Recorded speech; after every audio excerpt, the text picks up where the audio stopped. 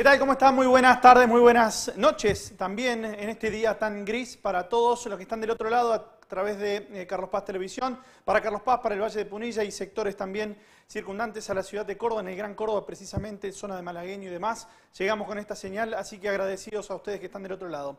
Hoy en esta edición de Fórum de 30 minutos, dos invitados. ¿sí? Vamos a tocar temas provinciales que por supuesto también atañen al ámbito eh, local y uno específicamente eh, referido a Villa Carlos Paz.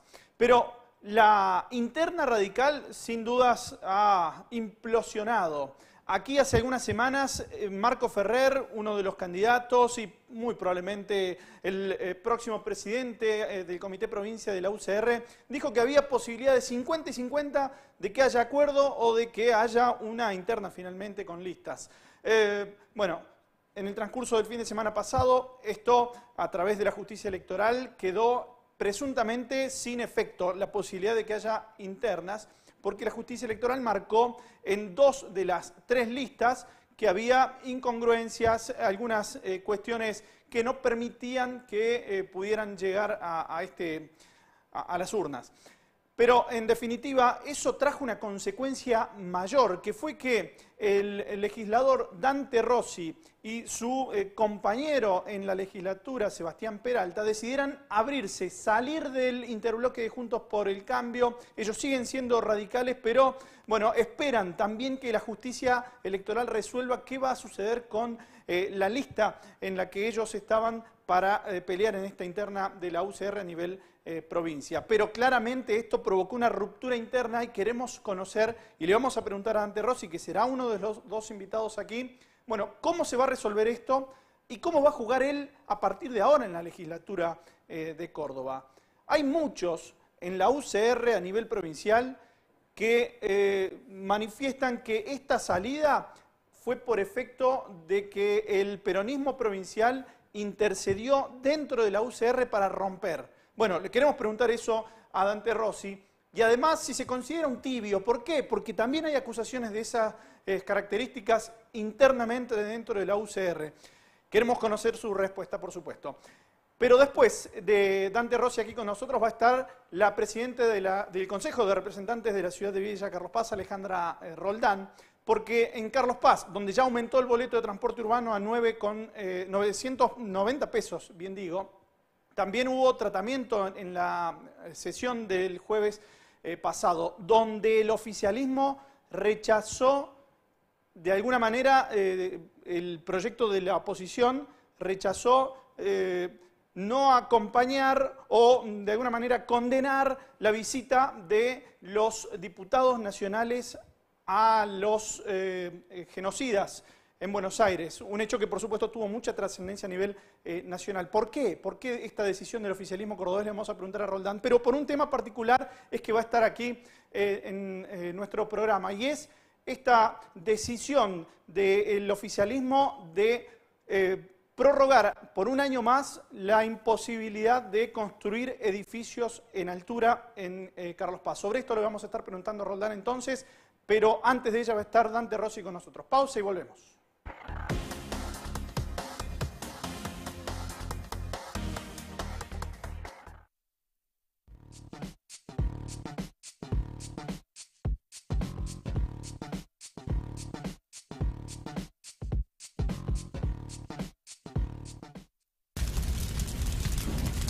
No desafiemos el fuego.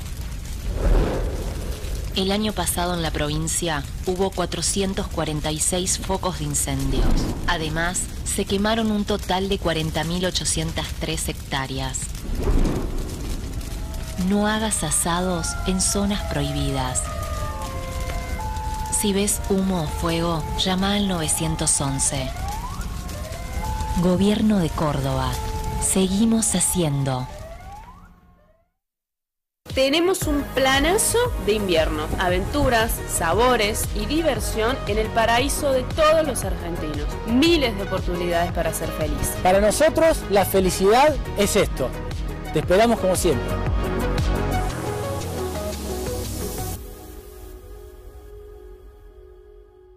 EPEC a la vanguardia tecnológica Estamos instalando medidores inteligentes en toda la provincia. Un proyecto único en el país que te permite consultar tu consumo en tiempo real y administrarlo eficientemente. Un salto de calidad para todos los usuarios. EPEC, la energía de Córdoba.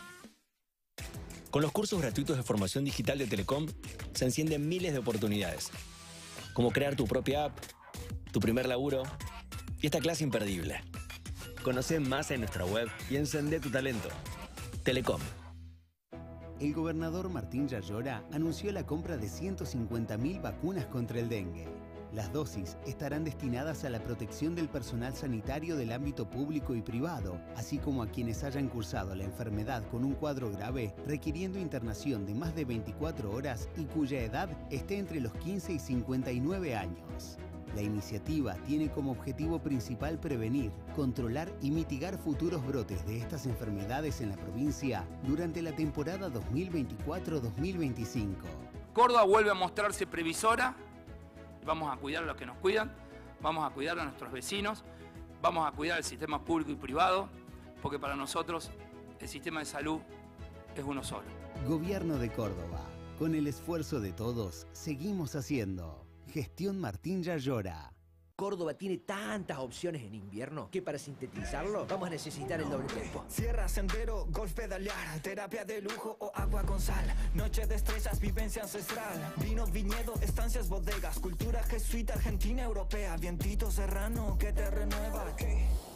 Cabrito gourmet, salame regional, cocina medicinal o tradicional, noche museo, risas festival, buen de avión, auto, fácil de llegar. Sumale Córdoba a tu invierno.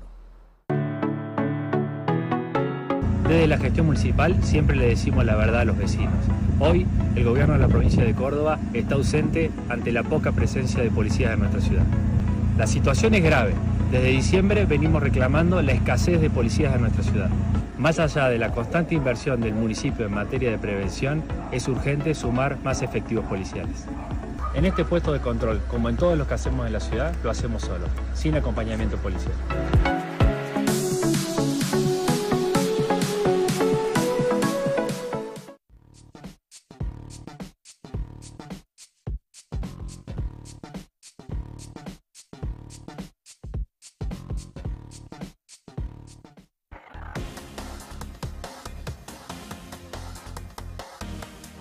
1907, Dante Rossi, legislador provincial por la UCR. UCR, Dante, ¿cómo estás? Gracias por venir.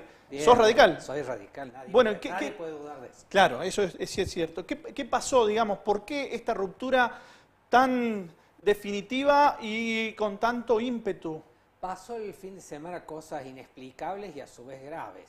Eh, nosotros habíamos presentado una lista, una lista que encabezaba el legislador Sebastián Peralta, compañero mío de bancada. Eh, queríamos competir en la elección interna, al, igual que Ramón Mestre, que presentó otra lista también.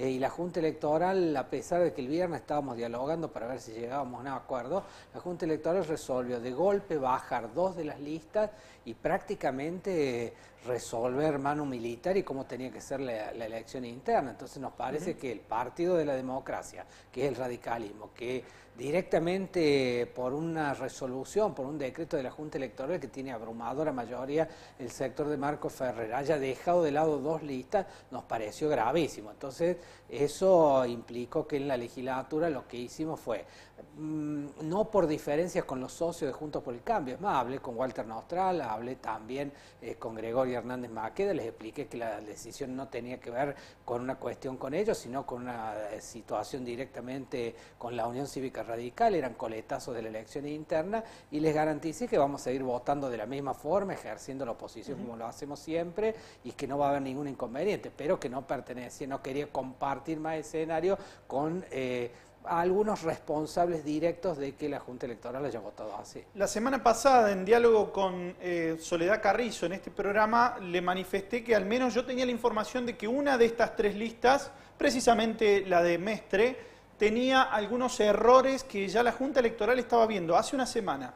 Ahora, la pregunta es, ¿Qué es lo que marcó la justicia electoral en la lista que vos integrabas? en las dos listas marca que no se ha llegado a la cantidad de, circuitos para competir en un sistema muy complicado que la verdad que la carta orgánica tiene que ser modificada porque después no hay gente que trabaje en los comités ni de circuito ni de subcircuito. Lo que pasa es que te piden para competir la mitad más uno de los circuitos, eso se completó, pero aparte de eso hay una discusión si también en cada uno de esos circuitos vos tenés que tener la mitad más uno de, los pueblos, de las ciudades de ese departamento.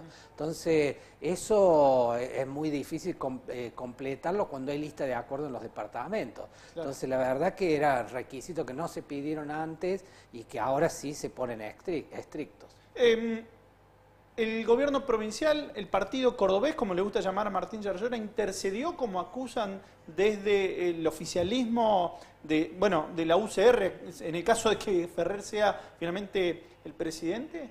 Si intercedió fue para favorecerlo a Marco Ferrer. Marco Ferrer es, eh, yo digo que el mejor amigo del gobierno, el que acuerda las políticas del radicalismo y del bloque de Juntos por el Cambio con el gobierno, es amigo del ministro de gobierno también, eh, y, él, y él lleva adelante esos acuerdos. A nosotros nos endilgan, y yo muchas veces me da bronca y otras veces me da risa, me endilgan relaciones con el gobierno por Miriam Prunoto. Nosotros, en la lista de la provincia no hubo ninguna intromisión de Miriam Prunoto. Es más, yo debo haber, haberme juntado dos veces en mi vida con ella porque ni siquiera cuando ella era radical nosotros teníamos buena relación dentro del partido. Con lo cual no hubo ninguna injerencia. Sí hubo injerencia con eh, Juan Carlos Gay, que era el titular de ese núcleo interno. Nosotros hicimos un acuerdo para poder participar porque me había quedado sin núcleo interno. Hicimos un acuerdo con él que tiene, es un dirigente que es amigo de Miriam Pregunta, pero tiene 40 años de militancia aceitada en el radicalismo. Nadie le ha suspendido la ficha de afiliación nadie le ha dicho que no puede participar en la vida interna del partido y eso hicimos en la provincia. ¿Y ahora cómo vas a moverte dentro de la legislatura? Eh, digo, eh, con total libertad por fuera de lo que decida eh, el bloque de Juntos por el Cambio o vas a acompañar en el caso de que consideres necesario Nosotros con, con, con, Sebastián Peralta vamos a seguir manejándonos de la misma forma que nos hemos manejado hasta ahora. En general votábamos eh, casi idéntico a Juntos por el Cambio. Las diferencias cuáles eran referidas a la mirada con el gobierno nacional. El bloque de Juntos por el Cambio es enormemente benevolente con el gobierno de Javier Milei y nosotros entendemos que el gobierno nacional es eh, lleva adelante un ajuste salvaje que va a dejar a más del 55% de la población en condiciones mínimas de bienestar y que hay radicales que no lo dicen abiertamente pero que están soñando con que el radicalismo pueda año que viene llevar adelante una alianza con la Libertad Avanza para las elecciones de diputados nacionales. Nosotros ya hemos dicho que de esa no vamos a participar. Dicen sí abiertamente de que el radicalismo en Córdoba necesita eh, de alguna manera ser más liberal. Eh, ¿En eso coincidís? No, yo no, yo eh, no coincido. Yo creo que hoy el momento, el momento que, vive la Argentina de hoy es para defender a la clase media que se está achicando de manera increíble y a la gente que cae en la pobreza extrema. Estamos hablando de un millón de chicos que no cenan eh, y se van a dormir sin cenar. Estamos hablando de 10 millones de argentinos que están en la indigencia. en Gran Córdoba el 50,5% está debajo, está de, debajo de, la línea de pobreza. Entonces creo que el radicalismo tiene que interpretar a esa gente, no a la que aspira Javier Milei a interpretar. Nosotros somos otra cosa, no tenemos nada que ver con la marcha. Internamente, vos sabés mejor que yo que algunos te califican de tibio por no, de alguna manera, refrendar estos, esta posición que algunos en la UCR intentan de... Eh, eh, ser benevolentes con el gobierno nacional. ¿Qué, respuesta tenés a Yo soy absolutamente opositor al gobierno nacional, absolutamente opositor. A mí me parece que el radicalismo no tiene que ver con un modelo que es populista, que busca permanentemente pelearse con otros sectores sociales, que busca someter... Nosotros, la, Argentina se va desbarrancando. yo no puedo creer cómo Caputo estuvo en Córdoba la semana pasada, muestra los índices macroeconómicos que pueden algunos ser buenos, pero la Argentina se está cayendo en la pobreza, la gente no no, no le alcanza para pagar el transporte interurbano y eso es culpa del actual gobierno, independientemente de las responsabilidades del anterior. Pero el radicalismo no puede estar ahí. Entonces, los tibios son los que no se animan a criticar al gobierno de Miley porque no vaya a ser cosa que algunos piensen que el año que viene podemos hacer alianza con esa fuerza política. Y si el partido cordobés te toca la puerta de, la oficina en la legislatura, eh, ¿qué respuesta tenés? Es que me, la han tocado varias veces. Ah, nunca, nunca, yo de ninguna, nunca se me cruzó. Yo milito, y en la nota de separación de Junto por el Cambio lo digo, yo milito en el radicalismo hace 40 años. Nadie puede decir que he tenido en 40 años una actitud cercana al gobierno provincial. El partido cordobés es un invento que lo único que busca es cooptar dirigentes a través de la billetera pública. No nos van a encontrar ni a Sebastián Peralta ni a mí en esas cuestiones. Vamos a seguir votando en la legislatura eso los que dicen eso son muchas veces radicales que, eh, parafraseando Perón, cambian un poquito la frase y, e interpretan que para un radical no hay peor cosa que otro radical. Entonces, en vez de sumar, en vez de eh, trabajar todos juntos, en vez, de, eh, en vez de, pensar y de generar política, incluso con la, con matices que tiene cada uno de pensamiento en el radicalismo, buscan cargar las culpas en otros sectores políticos. Em, y si al gobierno de Milei, ojalá no ocurra, porque vamos a estar todos dentro de la misma bolsa como ciudadanos argentinos, le va definitivamente mal. ¿El radicalismo puede pagar esas consecuencias? El radicalismo... ¿Y, en usufructo de, digamos, algún sector del peronismo? Pero es que nosotros hacemos cosas eh, que son increíbles, ¿no? Eh, yo digo, había que dar un testimonio en la legislatura, por ejemplo, de votar para sancionar a los diputados que fueron a ver a los represores y, a, Asti. Fue una cosa gravísima. Radicalismo no puede estar ahí. Radicalismo no puede, no puede dejar la sospecha de que por una cuestión reglamentaria no, no votó una sanción clarísima a quienes fueron a ver a represores eh, que, cometieron atrocidades en el gobierno militar. Entonces el radicalismo está desdibujando su rol. Nosotros tenemos que trabajar para para generar una alternativa distinta. Si, a mi ley le fuera bien entre comillas, porque generó números bajo la inflación, eh, hay más reservas, pero la Argentina se desbarranca socialmente. Radicalismo lo que tiene que hacer en cualquier escenario es construir una alternativa distinta parecida a la de Juntos por el Cambio de cuando se construyó, eh, cuando había que terminar con el kirchnerismo y trabajar para con nuestros gobernadores, con los diputados nacionales, los senadores, abrir por supuesto los brazos de otras fuerzas políticas y liderar una alternativa distinta. Bien, Dante, gracias por venir. No, gracias por tu testimonio. Gracias. Bien, ahí estaba el legislador eh, provincial, hoy ya por fuera de eh, el bloque de Juntos por el Cambio en la unicameral. Antes de la pausa, rápido te cuento que en Carlos Paz sí va a haber internas de la UCR el próximo 8 de septiembre. Rodrigo Ereñú Peláez es uno de los candidatos que integra la lista y que es sostenida por, por ejemplo, eh, Carlos Felpeto. En la otra punta, en el oficialismo, el candidato es Mariano eh, Melana, un ex concejal, un ex también presidente del Comité Elpidio González aquí en Carlos Paz. Esto se va a dirimir el próximo 8 de septiembre. Pausa.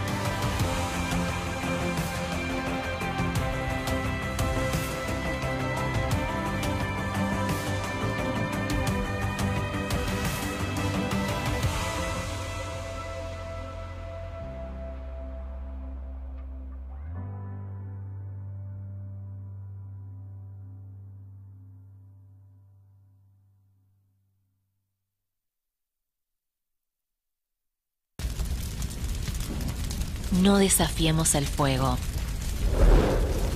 El año pasado en la provincia hubo 446 focos de incendios. Además, se quemaron un total de 40.803 hectáreas. No hagas asados en zonas prohibidas. Si ves humo o fuego, llama al 911. Gobierno de Córdoba. Seguimos haciendo. EPEC a la vanguardia tecnológica. Estamos instalando medidores inteligentes en toda la provincia. Un proyecto único en el país que te permite consultar tu consumo en tiempo real y administrarlo eficientemente. Un salto de calidad para todos los usuarios. EPEC, la energía de Córdoba. Tenemos un planazo de invierno, aventuras, sabores y diversión en el paraíso de todos los argentinos.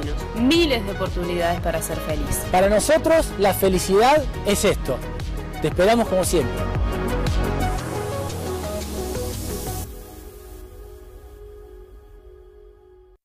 Con los cursos gratuitos de formación digital de Telecom se encienden miles de oportunidades, como crear tu propia app, tu primer laburo y esta clase imperdible. Conoce más en nuestra web y encende tu talento. Telecom.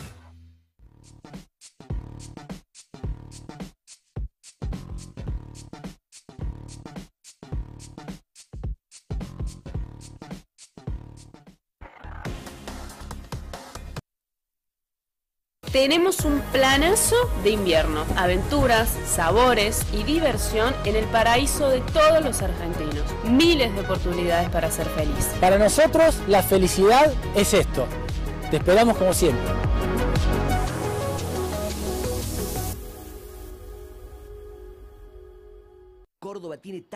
Opciones en invierno que para sintetizarlo vamos a necesitar el doble tempo. Sierra, sendero, golf pedalear, terapia de lujo o agua con sal. Noche de estrellas, vivencia ancestral. Vino, viñedo, estancias, bodegas. Cultura jesuita, argentina, europea. Vientito serrano que te renueva. Cabrito gourmet, salame regional, cocina medicinal o tradicional, noche museo, risas festival, de avión, auto, fácil de llegar.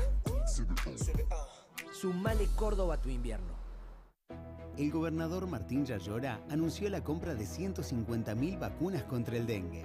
Las dosis estarán destinadas a la protección del personal sanitario del ámbito público y privado, así como a quienes hayan cursado la enfermedad con un cuadro grave requiriendo internación de más de 24 horas y cuya edad esté entre los 15 y 59 años.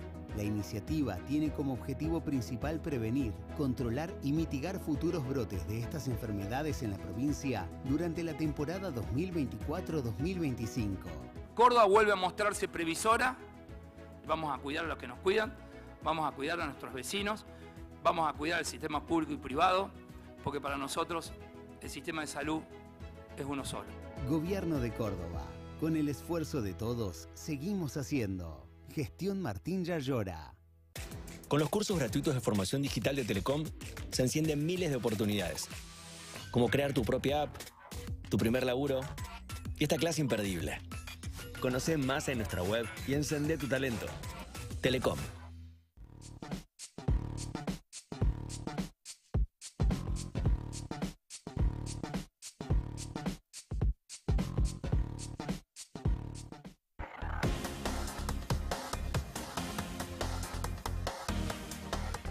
Último tramo de esta edición de Forum y ya estamos en contacto vía streaming con eh, Carla Livelli. Ella es la, eh, quiero decir técnicamente bien el cargo porque es secretaria de Desarrollo Urbano, Comunitario y Gestión Ambiental.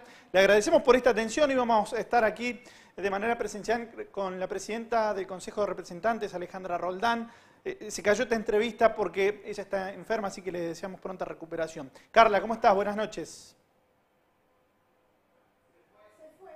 Bueno, vamos a, tratar de reconectarnos. Mientras tanto, sobre este tema eh, que se trató en el Consejo de Representantes la semana pasada, hay un fuerte cuestionamiento del oficialismo contra eh, los concejales de la oposición por no haber acompañado este proyecto de ordenanza que pretendía reducir eh, lo que se consideran las densidades proyectadas y necesitaban ocho votos dentro del Consejo para que tuviera esta aprobación. Algo que finalmente no ocurrió y por tal motivo se decidió prorrogar esta ordenanza del año pasado que cuando asumió Esteban Avilés en agosto del 2023 anunció para eh, frenar las construcciones en altura en Carlos Paz. Y que eh, también es eh, cierto mencionarlo, desde el CEPUA que fue el que presentó este, este proyecto o, que de alguna manera tuvo esta iniciativa y lo trabajó durante el último año, eh, hubo también fuertes cuestionamientos desde algunas de las instituciones que participan dentro eh, del CEPO en Carlos Paz. Eh, por ejemplo, el Colegio de Arquitectos, el Colegio de Ingenieros y también la Asociación Inmobiliaria, quienes pusieron reparos respecto a este proyecto que se estaba poniendo en discusión en el Consejo. Y atentos a esta situación, eh, los concejales de la oposición decidieron no acompañar este proyecto oficial y de aquí es que finalmente hubo una prórroga de la ordenanza de Esteban Áviles. Bueno, eh, esto es lo que ha ocurrido y que ha generado controversia y que seguramente va a continuar esta polémica porque, claro, hay inversiones en Carlos Paz que aseguran no poder llevarlas a cabo desde el punto de vista del desarrollo inmobiliario eh, porque no están dadas las condiciones mm, eh, normativas para que esto pudieran hacer. Ahora sí, Carla Livelli, eh, buenas tardes, buenas noches, gracias por este ratito, nos quedan apenas unos minutitos. simplemente queríamos conocer, Carla, qué fue lo que pasó en el Consejo y por qué no se aprobó esta ordenanza en la que necesitaban ocho votos para poder sacarla. Bueno, buenas noches. la verdad que no sabría decir qué es lo que pasó. O sea, eh, lo importante, creo que nosotros ya lo habíamos hablado en otras instancias, lo importante de esta norma era poder reducir los índices de edificación y poder consolidar una ciudad que sea para todos, inclusive para todos, no solamente para los que tienen intereses económicos y para los desarrollistas.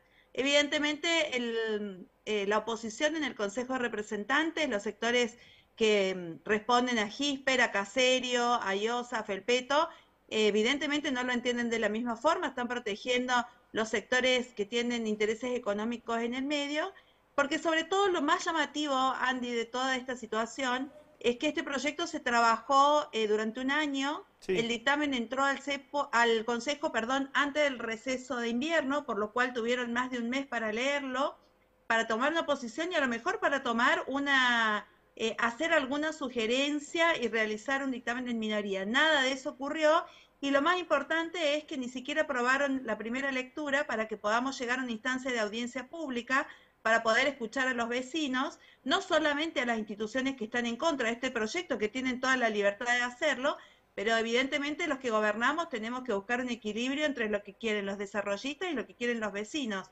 Y a lo mejor yo pienso de que llegar a una audiencia pública, ¿qué vecino de Carlos Paz va a querer ir a manifestarse en una audiencia pública diciendo que quiere un edificio al lado de su casa, no? Entonces, no, permitir llegar a esa instancia es, creo, un poco desoír lo que los vecinos de Carlos Paz quieren y escuchar a tres o cuatro instituciones que tienen intereses económicos y que, bueno, estaban en contra de la norma. Claro, estas son, como mencionaba yo anteriormente, el Colegio de Arquitectos, Colegio de Ingenieros y también la Asociación Inmobiliaria. Ellos no acompañaban este proyecto eh, que presentó CEPOA, ¿cierto? Sí, exactamente, pero bueno, es el juego de la democracia también. El CEPOA tuvo una mayoría, el dictamen, donde se eh, eh, recomendaba al, gobierno eh, bajar algunos índices de edificación y también permitir que algunas zonas de la ciudad sigan conservando su identidad como barrio, ¿no? Esa fue la recomendación, ese fue el, el proyecto de ordenanza que desde el Ejecutivo elevamos al Consejo de Representantes y que en primera lectura no contó con los votos. Así que eh, lamentablemente los vecinos se quedaron sin poder expresar cuál es su posición y bueno, y vamos a tener un año de prórroga de la ordenanza, de vigencia de la ordenanza 7001, donde no se van a poder construir más de seis unidades eh, de viviendas colectivas, cosa que se hubiera podido lograr si esta norma hubiera estado aprobada en el marco de una nueva densificación y, un proyecto, una planificación que contemplara también la prestación de servicios y el cuidado de los recursos naturales. Em, desde el Colegio de Arquitectos, por ejemplo, señalan, eh, Carla, que eh, esto es un proyecto del oficialismo, en definitiva, porque no están dadas las condiciones estructurales, la infraestructura para poder resistir ante eh, construcciones en el centro, por ejemplo. Eh, eh, ¿Esto es así? El Colegio de Arquitectos siempre históricamente ha tenido una postura bastante crítica a las políticas del gobierno de la ciudad y entendemos, bueno, que ellos defienden los intereses. El tema es qué representa el Colegio de Arquitectos, ¿no? O sea, en esta semana ha tenido, esta semana, la semana anterior, ha tenido elecciones en su núcleo interno, donde tuvo un alto, muy poco porcentaje de votantes y de los votantes un alto porcentaje de votos en blanco, por lo cual no sé si es representativo de toda la matrícula, pero bueno, yo entiendo también que ellos tienen que defender eh, los intereses eh, de, su, de sus matriculados y siempre han sido críticos con la posición del gobierno y lo importante, Andy, es que si ellos creían que no estaban dadas las condiciones, hubiera sido importante que hubieran alcanzado una alternativa para poder trabajar sobre unos índices que ellos hubieran propuesto. Ellos en ningún momento elevaron una propuesta alternativa, sino que de arranque lo único que plantearon es la derogación de la ordenanza 7001. Bueno, Carla, yo te agradezco eh, esta, esta respuesta. Este tema muy probablemente lo continuaremos en las próximas ediciones eh, de Forum porque por supuesto atañe a la ciudadanía y a eh, los inversores también en Carlos Paz. Así que ha sido muy atento, gracias, atenta digo, gracias por esta, este contacto. No, gracias a ustedes como siempre para darnos el espacio y la verdad que es un tema que es trascendental para la ciudad, así que sería importante que lo sigamos charlando con más tiempo. Bien, ahí estaba. Carla Livelli, una de las funcionarias del Ejecutivo eh, de la Municipalidad de Villa Carlos Paz. Antes del cierre, simplemente, aquí queríamos tener a Alejandra eh, Roldán. Le quería preguntar personalmente eh, por qué el bloque de Carlos Paz Unido rechazó tratar el repudio a los diputados que visitaron a genocidas en la cárcel cuando son temas que parecían tener un consenso general de la política y que en este contexto, valga la redundancia, de lo que ocurre a nivel eh, nacional, han decidido no acompañar este proyecto de la oposición? Bueno, es una respuesta que vamos a esperar en las próximas ediciones de Fórum también. Hasta aquí, nos, eh, hasta aquí el programa, nos despedimos, será hasta el próximo martes a las 19 horas. Ahora eh, la continuidad del noticiero de Carlos Paz Televisión con Sofía Pérez. Adiós, gracias.